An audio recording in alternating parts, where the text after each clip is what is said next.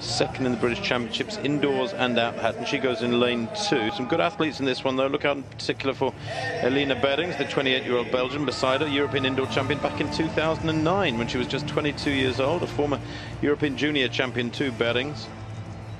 She is the fastest in the race. Hatton to the right of picture. There is Berings. 28 years old, should be at the height of her power. She's run 795 this winter, 792 her lifetime best. And uh, that makes it European number two. She's seen Talay win that second heat. There's Koudelová, Lucy Koudelová of the Czech Republic being introduced to the crowd, which is growing all the time. She goes in lane six.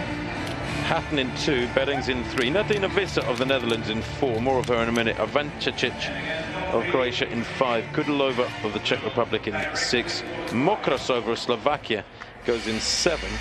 Mokrášová there, the camera focusing on her, but she's the slowest in the race by a big margin. And Tomic of Slovenia goes in lane eight. On your marks. Well, I mentioned Visser of the Netherlands in lane three in that familiar orange strip. Third from left as you look at them now from behind. She's uh, just 20 years old and she is some competitor. She's a heptathlete, third in the World Juniors last year behind more behind uh, Katarina Johnson Thompson in Eugene. She's only 20. Bronze medalist in the 100 meter hurdles at those World Junior Championships. So she will be one of those young ladies who will be up alongside Morgan Lake and Johnson Thompson in years to come in the heptathlon, but she's specialising here.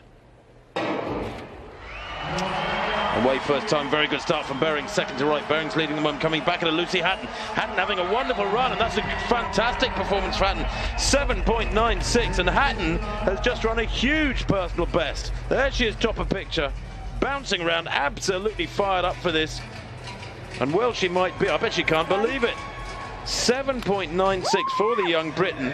It's a big, big personal best. The first time ever under eight seconds.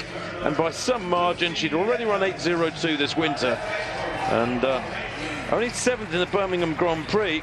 But that experience helps. It counts. Tattoos and all. She's just had a fabulous run. Well, she improved, didn't she, in Malmo? We were very impressed with her there lifetime best in both the heat and the final, and now she's gone below eight seconds. So Lucy Hatton certainly putting herself right in medal contention. It's early days, of course. She's now got to, not only got to maintain this, but try and improve it. She's very explosive, isn't she? Excellent sprinter. And you could see as soon as she got over that last hurdle, she sensed that was it. Great performance, beating a former European indoor champion. I mean, she is giving the differences we have to remember is that both the previous heats were on 8.04. Lucy's just uh, run, Lucy Hatton's just run, or oh, two thirds of a metre quicker with 7.96, but she's giving 100% there. She's, and I don't blame her. She's almost treated that one like a final, Martin, but I think that's exactly the right attitude when you're uh, just 20 years old. And